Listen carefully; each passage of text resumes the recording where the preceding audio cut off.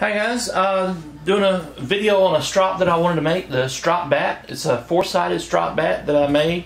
Uh, I probably have, I'd, I'd, estimate around $10 in this thing. So uh, there isn't really much in it other than the tools to actually make it. Uh, you don't have to use the tools that I did. Some of you won't have table saws and things like that, but you really don't have to have them. You can use uh, hand tools and things like that to do what I did. I just had it a little bit easier. Uh, it's really simple to do, nothing to it. I have made one of these in the past and absolutely loved it. So this time I spent a little more time making a really nice rubberized handle. Uh, I put buffalo leather on there. I believe this is uh, 12 ounce, and uh, it's it. I'm really proud of this one. I think I'm going to really like it a lot. Anyway, if you want to know how to make it or how I made it anyway, uh, check it out. Be right back.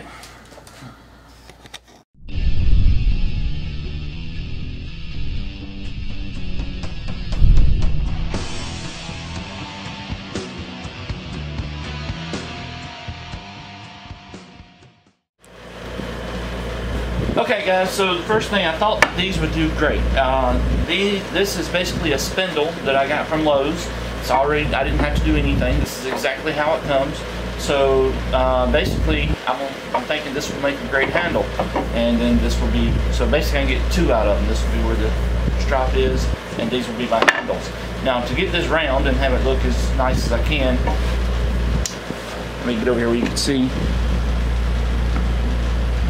Um, let me focus in. It's not focusing, but there it is. Okay, so I want to cut a little bit more out so that I can complete the round, if that makes sense. So I want to leave a little bit of the material.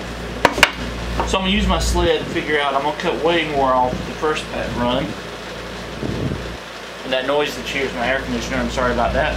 But, uh, here we go.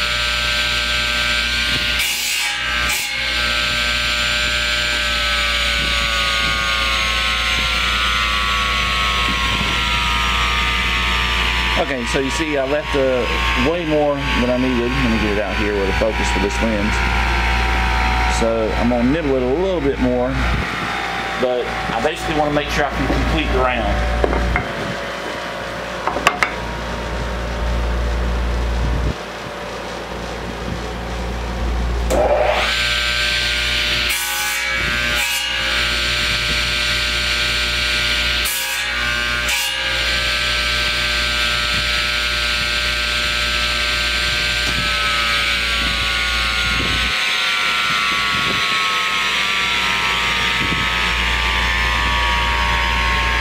waiting on that to Uh, so that one's done. I'm gonna do the other one and then I'll show you the next step.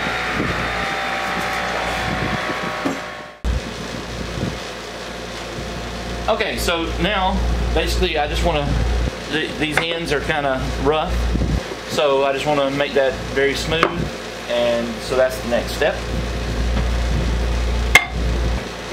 I'm basically going to use my sled again. I use it a lot. I really like my sled.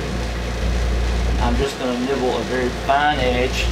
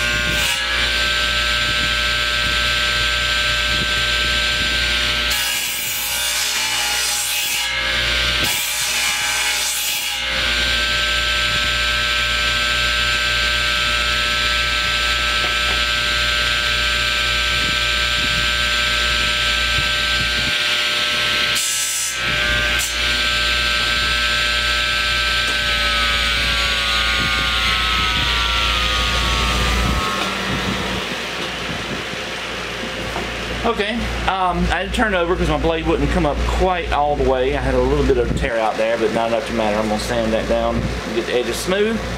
So now, this I'm going to just use, uh, here, I'll show you what I've done this in the past for things, so basically, let me get out here where you can see. Um, I just stick it in here, put a little pressure,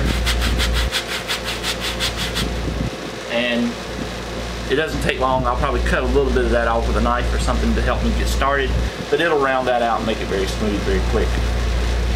Um, anyway, I'll do that when I get back inside. But one of the things you do, do not have to do, you, you can stop here, but I do want to sand it to make it a little bit smoother and cleaner. I also want to see if I can true up these edges a little bit. I'll see if that's necessary.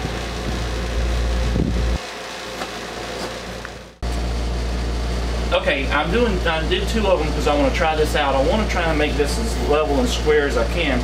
Uh, I don't know if this is going to work and whether or not I'm going to mess up my handle by screwing up. I only bought one spindle, so if I screw up, I have another one and I won't do this. Uh, so basically, I'm just going to try and true this up uh, and see how I do. So this is, like I said, not necessary just for me to make it look a little bit better.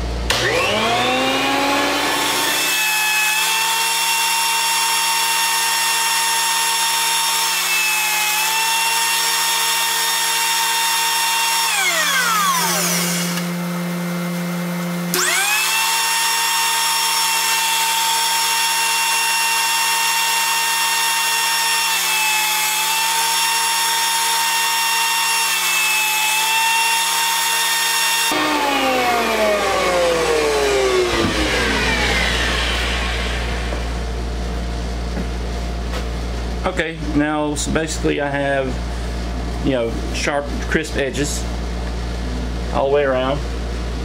So that should do pretty well. I did have a couple where it nicked the handle, but because of what I'm going to be doing in a little bit, that's not going to matter. So I'll move on.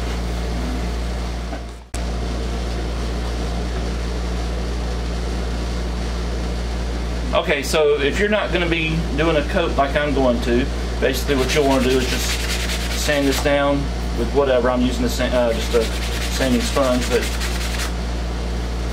and then get that rounded out. But uh, I'm gonna do something a little different with the handle. Let me show you what I'm gonna do. Okay, so the handle and all, that's up to you on how you're gonna do it. Because I'm doing something a little different. I'm not worried about the handle now, but for aesthetics later, I want this all to be black up top, just so that these corners and all and the ends don't look funny. So I'm just spray painting it. I'm not really worried about getting the handle. I just need a good coat all the way up there. And because most of this is going to be covered,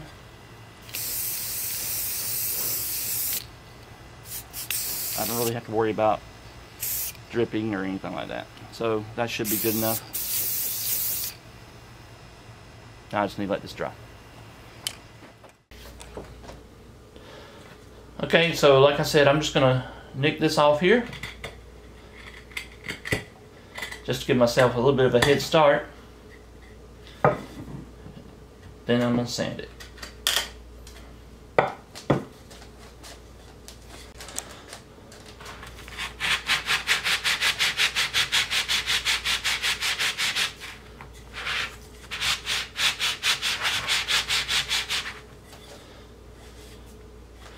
Now because the way I'm doing it, I don't actually have to have it perfect, but I'll get it down pretty close.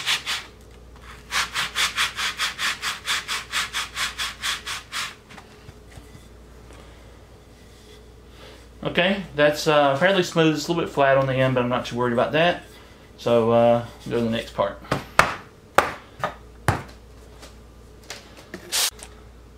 Okay, uh, so what I'm going to do now is basically just uh, coat this in the Flex Seal. You see me use if you saw some other projects, but uh,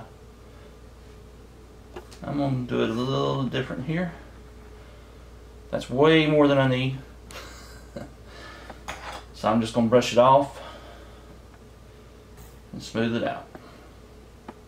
Okay guys, so now what I'm doing is applying the leather. I already did two ends and you can kind of see what I do. I, I, line up one end flush, glue up those, and then I'll use it as a guide. And I'm doing, because this is buffalo and it's really, really slick, it's high, high-end leather, very thick leather, and what would normally be the rough side, so to speak, is actually very smooth and perfect.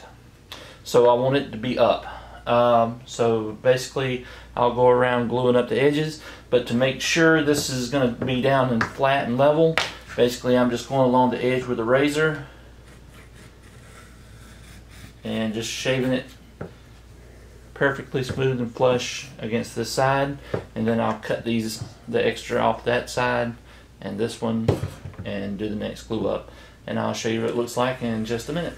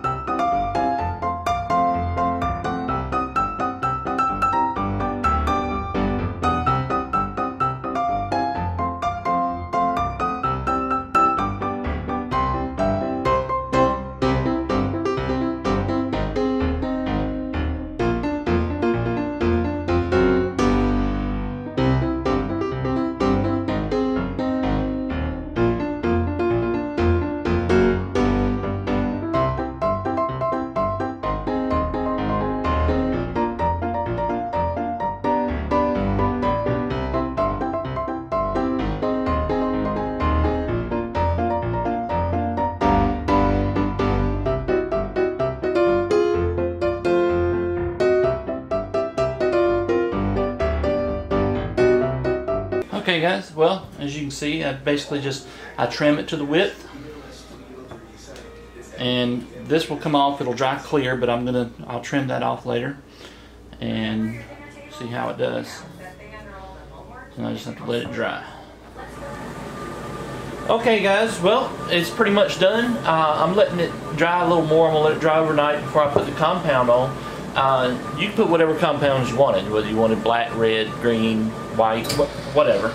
Uh, the one I'm doing is I'm going to do black on one, then I'm going to do green, then white, and then actually it's uh, the I'm going to probably do the uh, like two carat micron uh, spray, but uh, basically it'll look like there's nothing on it. But that's what I'm going to do on mine.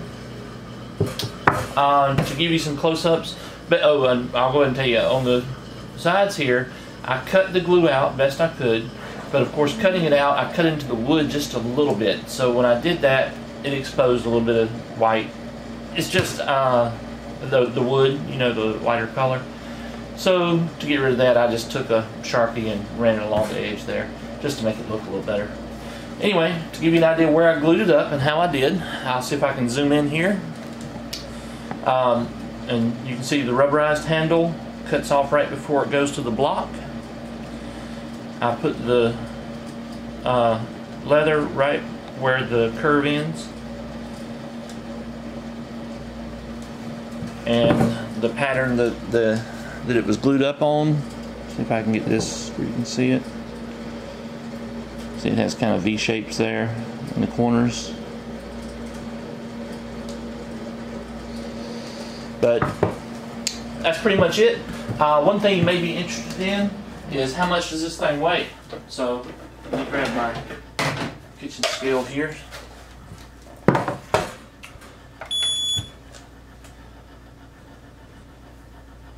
It's actually got a pretty nice weight to it. Uh, 1.2 pounds. So it's actually pretty sturdy. And basically, once everything is done, that's the way it'll work. And it, it's really easy to hold with the extra weight and everything. So I'll be putting the uh, compound and all on there tomorrow. But that's pretty much it, guys. Hope you like it. I would love to see some pictures if the rest of you do them. See if you have uh, some other ideas for the handles or how to actually make your strop. But anyway, thanks for watching, and I'll be back with another video real soon.